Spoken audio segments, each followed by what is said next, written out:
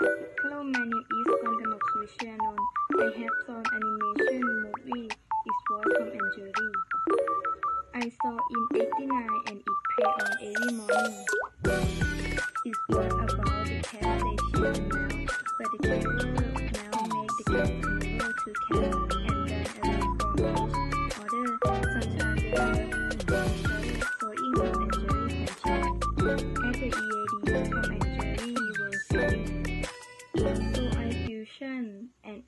Was entertain.